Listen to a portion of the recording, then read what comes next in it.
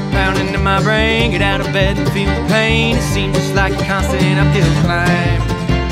Get up and down, get out the door, constant fight, a daily chore behind the wheel